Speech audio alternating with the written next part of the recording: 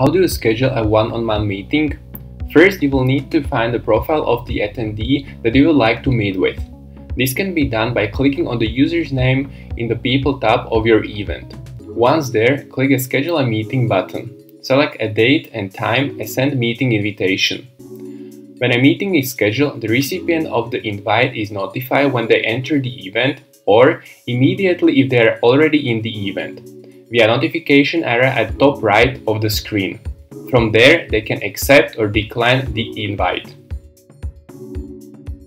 After each panel discussion, you can go to Sessions area.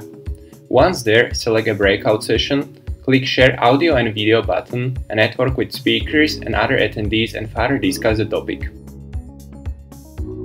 In networking area, click a Ready button and you will meet the next person available.